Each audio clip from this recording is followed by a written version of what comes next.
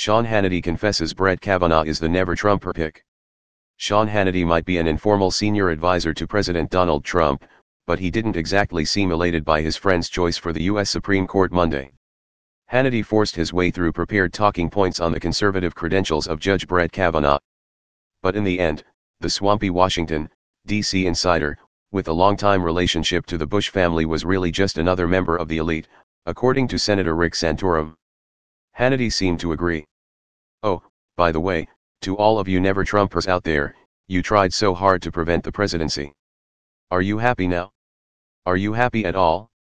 Are you happy about tax cuts, promises made and promises kept?